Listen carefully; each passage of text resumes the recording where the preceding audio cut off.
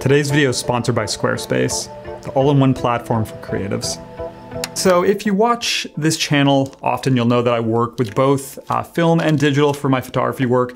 I've been shooting with uh, digital quite a bit this year for about the past two months now. And that's kind of inspired me to make this video just to share some of the like different techniques, tools, plugins that I use that I found uh, really helpful and also like really straightforward just for helping me match the images I shoot on digital with the stuff shot on film. So before we jump into it, I do just want to say very quickly that, you know, in my opinion, regardless of uh, film or digital, whichever medium you use, I think what's going to have the biggest impact on your work is just your creative style. It's something that develops naturally over time. And I think regardless of which medium you use, it's always something that's going to be apparent because it's just usually what kind of guides you in the decisions you make when you're shaping an image in post-processing. And you know, I notice it with the black and white work that I've shot on this Fuji when I compare it to the uh, film work I've been doing in Wales. The images look so incredibly similar because, you know, when it's one image in front of me, regardless of what it's shot on, I'm still just making adjustments in Lightroom until it looks a certain way that is pleasing to me. But uh, obviously, you know, both mediums differ in terms of the approach you take to get there. Film has these characteristics built in, like grain and contrast, and obviously using older lenses. Uh, digital I view as this like incredibly clean slate where you have to go and then build in those characteristics yourself. And uh, that's what we're gonna look at today. So I have five different uh, tools and techniques that uh, I use to kind of bring some of that character back in and also bring a look into digital work. So uh, let's jump on the computer and uh, take a look at the first one. Okay, so almost all these are gonna be about post-processing except for this first one, uh, and that is talking about black Pro-Mist filters. I'm sure all of you know what these are. You're probably sick of hearing about them, but you know, they are a really valuable tool, so they're worth mentioning.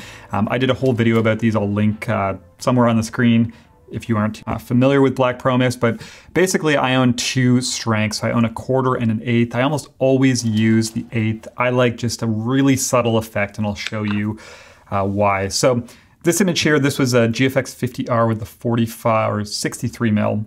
And if we zoom into 100%, this is with an eighth Black Pro-Mist. You can see that this um, like high contrast edge here is just blooming a little bit, just really slightly. And if we jump to a couple shots uh, that were done using film, so this is Portra 400 6.7, you can see these kind of bright highlight areas. Show a little bit of that, also some halation. Same with this one. So this is uh, 35 mil. You can see kind of this bright edge here where these specular highlights are and stuff. You're getting a little bit of that bloom. And then even on this one here, we'll zoom out for a sec. So this is, uh, I think this is Pro 400H Fuji. And you can see like these specular highlights are just blooming a little bit. Even some of this like garage door here where this kind of like um, aluminum or chrome is it has a similar effect. So uh, I find that that the eighth strength is just subtle enough. Uh, so this is another one with the uh, Fuji. You can see here, it's just a really subtle, like slight bloom on these bright highlight, kind of high contrast areas. And I, I find it does a really nice job kind of, kind of mimicking that, uh, that same look that's happening when you're shooting with film. But of course, it all depends on kind of the scenario you're shooting, what your preferences are. So this, this is actually an image from an upcoming video. This is no Pro-Mist filter. And then this is with an eighth. So you can see that it's quite a bit more pronounced when you have these like uh, hard light sources in the frame. This is a little bit too much for me. Some people might like this. So these are situations where I wish there was even like a 16th in the screw-on size because that's what uh, I would probably roll with. But definitely a useful tool. I almost always leave the uh, eighth strength on uh, when I'm using newer optics. Okay, so up next is talking about uh, profiles. Gonna have two sections. The first one is talking about Fujifilm profiles. Obviously, if you don't shoot with Fuji, you can't use these, unfortunately, but they are my go-tos and what I enjoy the most. I wanna touch on them quickly. Uh, there's three in particular. Classic Chrome was kind of my go-to in the past. I really enjoyed it. I did a video about it uh, showing how I edit my X100 images. I'll link to that. Uh, but this is Portra 400 right here. And this is an X100 uh, using the Classic Chrome profile here in Lightroom. and then just making some tweaks. So check that video out if you're curious uh, about that. But I wanted to, to show kind of two new ones I've been playing with. The first one is Classic Negative. Uh, so this is just Adobe Color.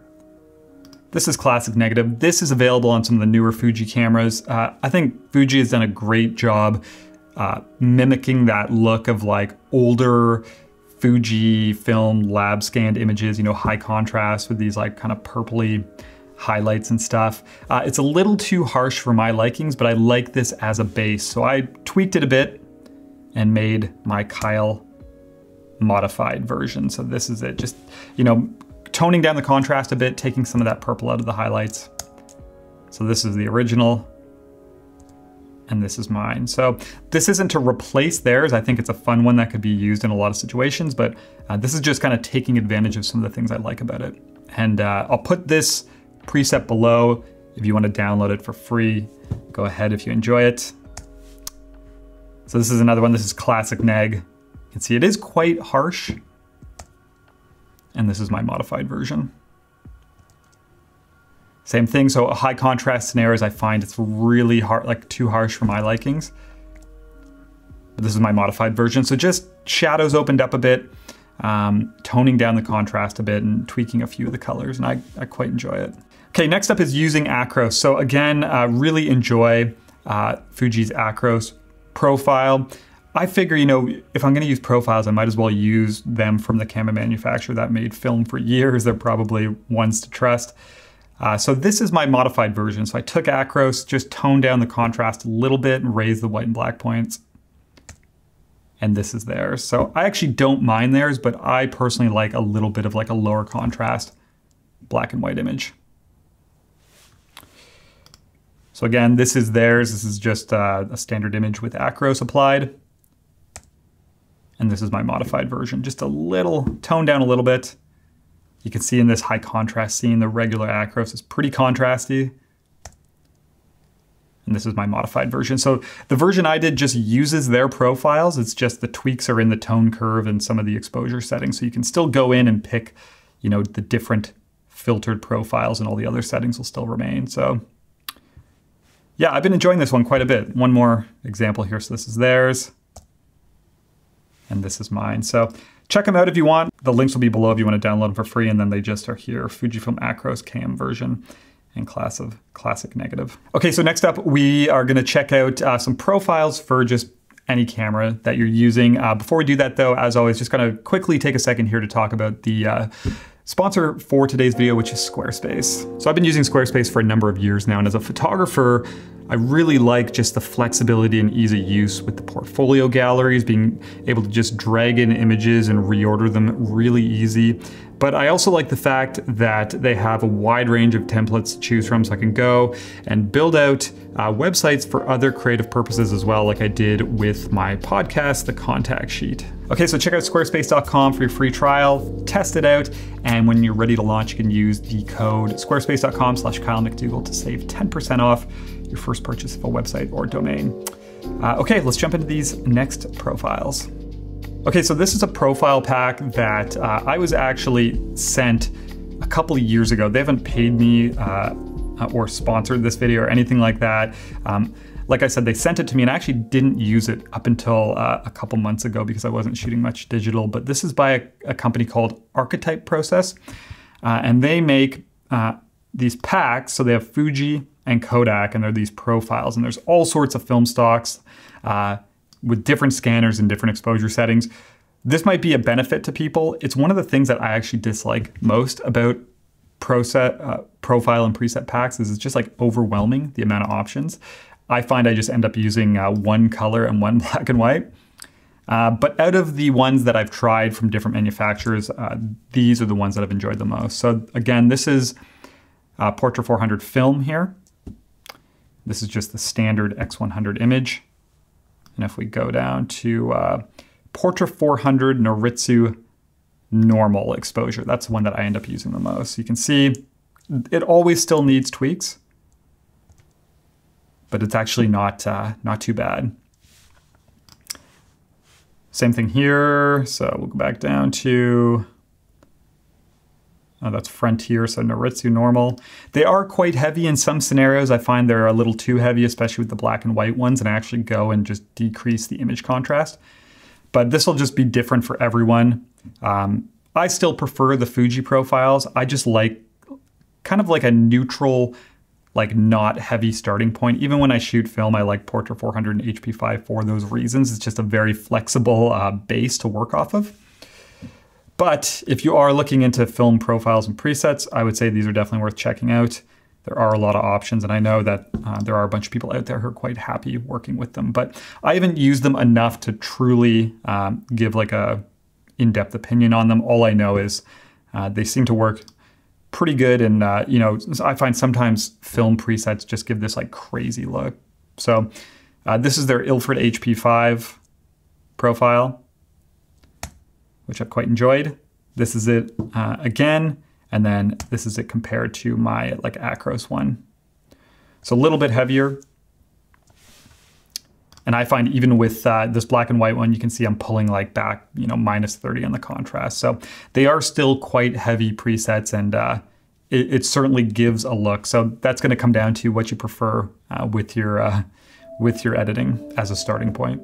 Okay, so up next is something that's in Photoshop, but this brings us back to that, like the, the highlights, the blooming, the halation. And I'll show you, we'll jump in Photoshop, I'll, I'll show you how it's done. I'm not gonna do like a step-by-step -step walkthrough, um, just because I didn't come up with this and I don't wanna take credit for it. So I'll link below to the, uh, the person's website, the instructions that I followed. So here's my folder here, but basically what you do is you go into Photoshop and you make these, uh, these threshold layers where you kind of like just pinpoint the extreme highlights. And then you add a, a Gaussian blur, you change the uh, screen mode, and you add uh, this color layer. All things that I had no idea what I was doing, but it's super straightforward to just follow these instructions. So you basically end up with these settings. I usually just throw them into a folder, and we'll turn it on here.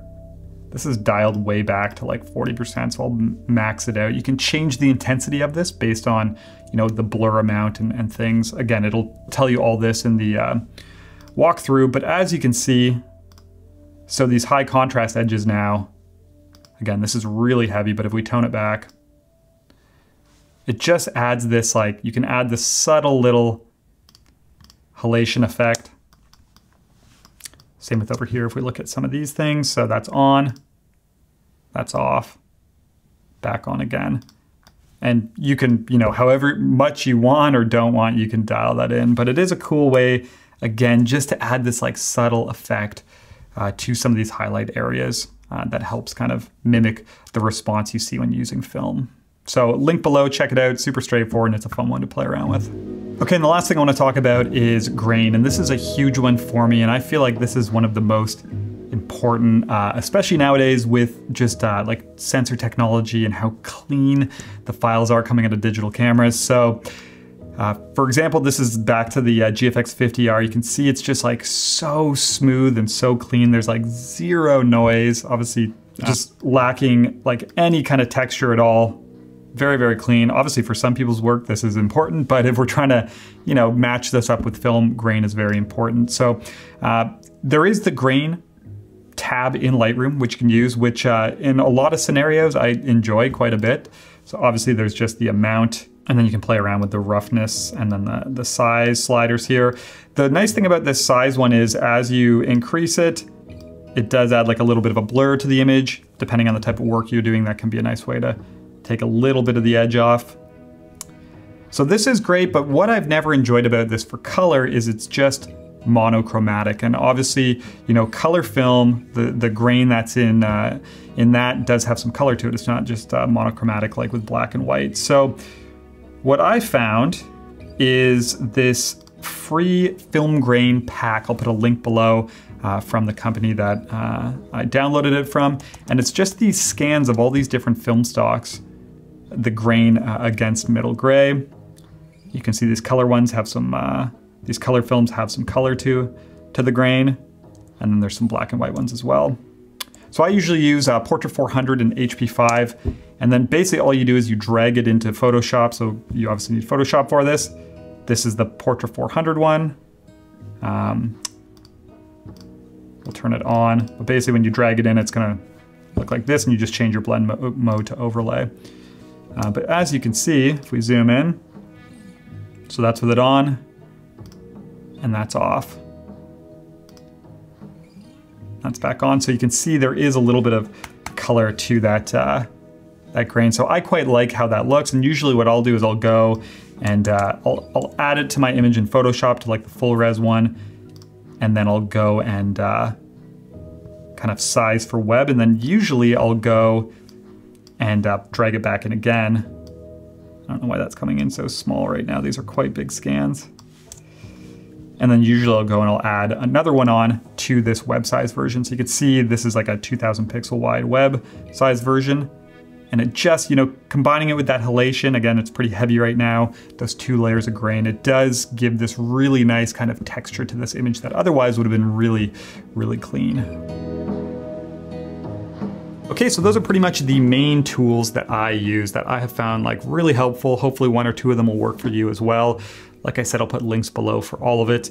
Um, but yeah, at the end of the day, like I said at the start, you know, what's most important to me, regardless of the medium I'm using, is just if the image on the screen in front of me uh, looks good to my eyes. And often the, the biggest motivator behind the decisions I'm making uh, is just my creative style and my creative preferences. So uh, all these tools though are great little, um, you know, options that can help you get there with your images, bring some character into them, and also match them up with your film work. So, uh, hope you found this interesting. And uh, other than that, just want to say, as always, thank you for watching, for the support, uh, all that kind of stuff. And I'll talk to you soon.